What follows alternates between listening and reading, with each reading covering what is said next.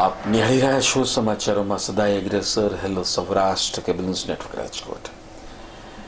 The Rajkot cooperative bank, એટલે કે Raj bank university road બ્રાન્ચના assistant general manager Sanjay Vallabhbhai Tolara deputy general manager Vishesh Vaishnav બેંકના driver Raju Solanki તથા જાણીતા architect Sarvamangal Kishorbhai માવદિયાના.